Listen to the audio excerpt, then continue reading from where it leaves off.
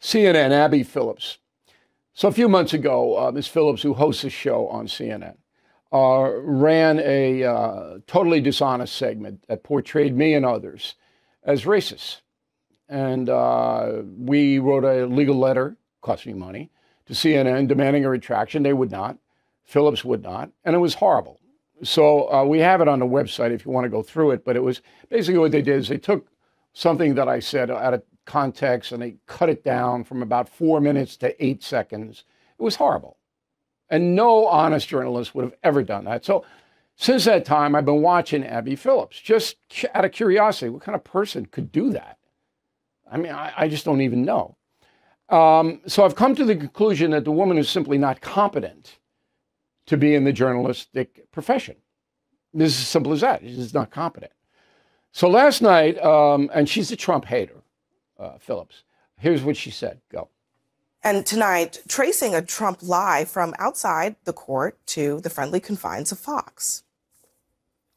My son is graduating from high school, and it looks like the judge will not let me go through the graduation. That was the former president immediately after day one of his Manhattan trial, lying about a decision that the judge had not made. He did it again on Truth Social, claiming that he's been, quote, prohibited from attending my son Barron's high school graduation. And almost as those words escaped the former president's lips, they went straight to the Fox airwaves. That means Donald Trump isn't even allowed to attend his son Barron's high school graduation. If he tries to go, the judge will throw him in jail for that too. Okay. So uh, on the graduation front, I don't know. I have no idea whether Trump can attend or not. Trump believes he is being ordered not to attend. Uh, who knows? But Phillips doesn't know either. She doesn't know. And she said, Trump's lies. So I'm only bringing this to your attention because CNN is a worldwide operation. And the stuff that they're putting out there now is so infantile. And I'm not diminishing the seriousness of it by saying the word infantile. I'm just saying this is just bull. All right. Now, Abby Phillips gets no ratings. Nobody watches her. Nobody cares about her. She's not going to be around believe me, for the long run. But and and yeah, uh, there's a little bit of uh, righteous uh, anger toward her by me. I'll admit it. I wouldn't be paying attention to her if she hadn't done that terrible thing. Everything is expensive these days, you know that.